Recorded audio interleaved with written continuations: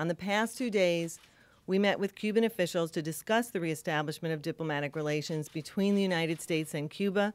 This round of talks was highly productive. We will persist, inspired by the conviction that engagement and not isolation are the keys to moving forward.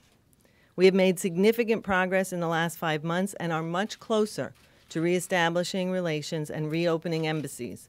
These are the first steps in the long process of normalization that will allow us to better represent U.S. interests and increase engagement with the Cuban people.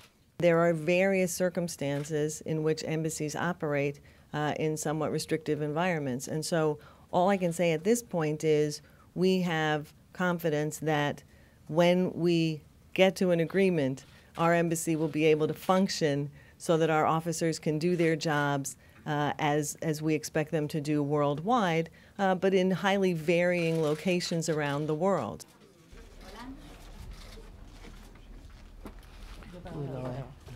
Uh, both delegations agreed to continue our exchanges on issues related to the functioning of diplomatic missions. La apertura de las misiones diplomáticas. So we will continue uh, those conversations in, in, in the next few weeks. de modo que le daremos